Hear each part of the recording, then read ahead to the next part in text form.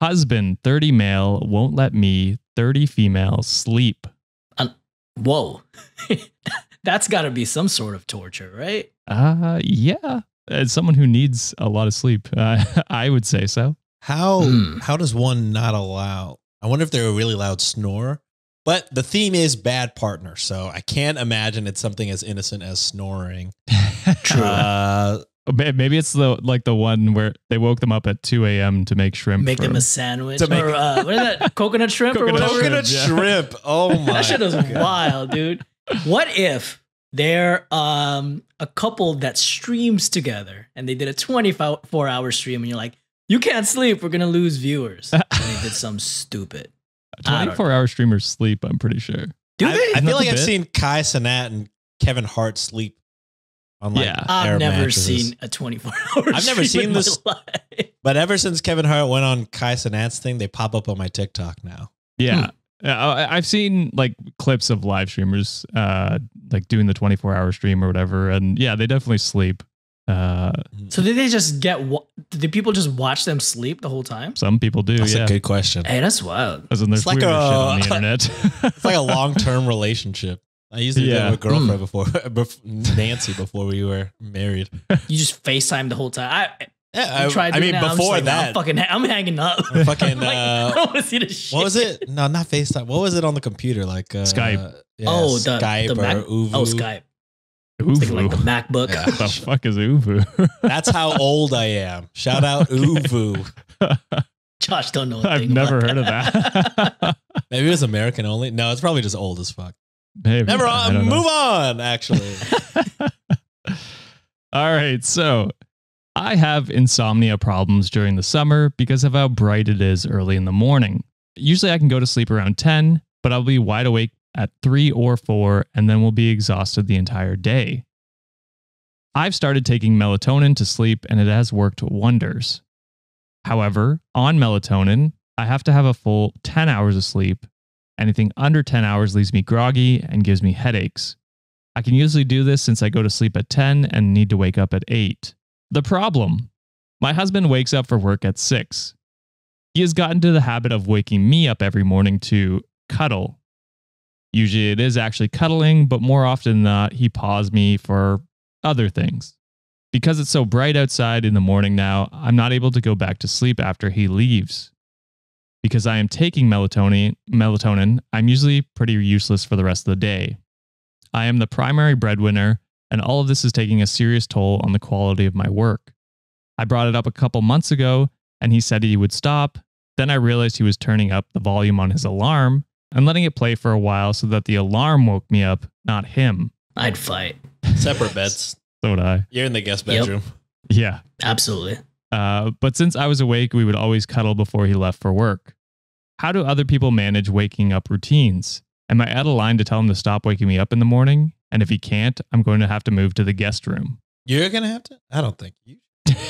They gotta agree. move to As the primary Yes. breadwinner, I would say you should probably take the. Uh, No. But yeah, that's the story. So is is she out of line asking him to stop waking her up in the morning? No, absolutely not. No. Sleep is one of the most important things for people. You know, food and water part of it too. As someone who had like bad sleep, one, I have I have insomnia, I have sleep apnea. I got all the works, baby. That shit is not nice falling asleep sometimes.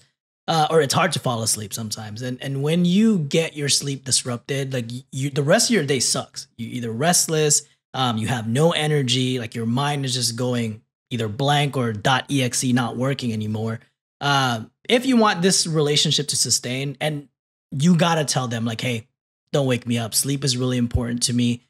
Maybe compromise later on and say like, hey, maybe before we go to bed, let's do more of like the cuddling time there, and then we can be all affectionate with each other. So that way, I can still get my full eight to ten hours of sleep, and then you can go to work. Personally, for me, I cannot leave like the house without saying bye to my wife, and she's vice versa as well have that conversation and say like hey what can what can we do to like do this without really disturbing my sleep but only compromise that i can think of is do it before you actually or you know you do it like the bed or the night before so that way you can have your eight hours of sleep I, I agree with that. I think if you've made it clear that you need to sleep until eight o'clock, he should Mhm. respect that. Uh, just as your partner, no matter like uh, if you like if if he has to work or whatever he has he's getting up for, yeah, he should respect that that's something that you need to be functional during the day, uh, and that's something that you need to lay down the line and say either you you're sleeping somewhere else or you're turning your alarm down and shutting the fuck up in the morning,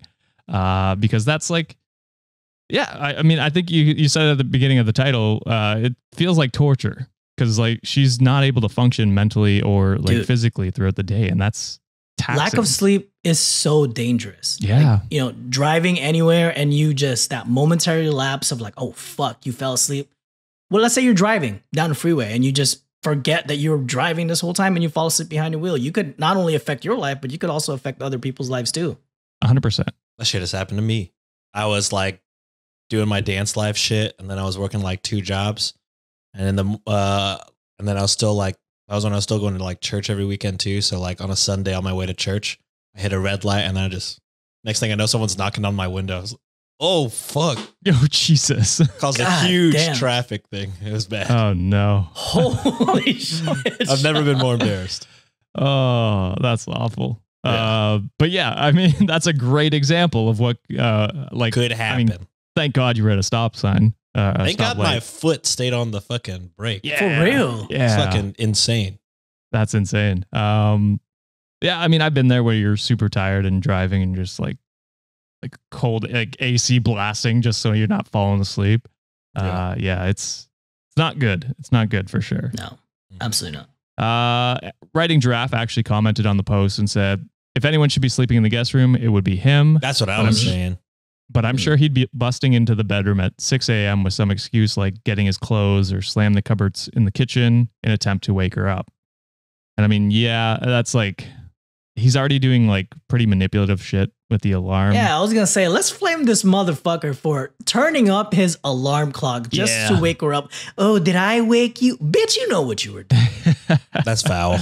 yeah, that's that's awful. Like I would have threw the goddamn alarm and chucked it in his face and be like, "You turn this off." so manipulative. It's bullshit.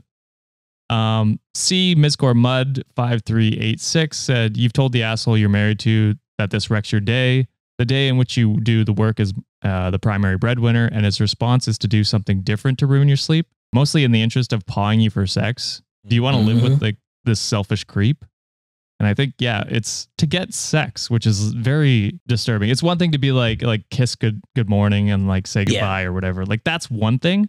Yeah. Um, and I mean, even if that woke you up and you didn't want that, you can draw that line for sure. yeah, you could write a uh, little note or some shit exactly. Or a text in the morning or a phone call after you you wake up or something like that. There's there's other ways to go about that but this is like just like for sex. It's like mm-hmm. that can wait until the end of the day motherfucker uh, when your uh, wife is well rested uh, and, and is able to work throughout the day. My guy help her sleep at night if you know what i mean. Therapy.